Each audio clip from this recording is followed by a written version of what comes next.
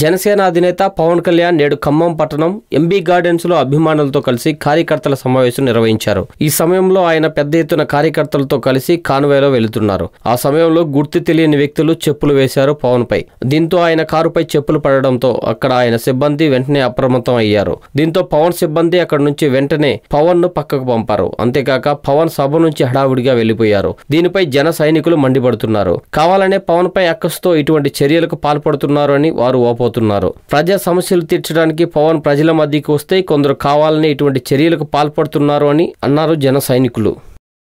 ఈ వీడియో మీకు నచ్చినట్లయితే లైక్ చేయండి షేర్ చేయండి. మరిన్ని అప్డేట్స్ కోసం మా జనహితం టీవీని సబ్స్క్రైబ్ చేయడం మాత్రం మర్చిపోకండి.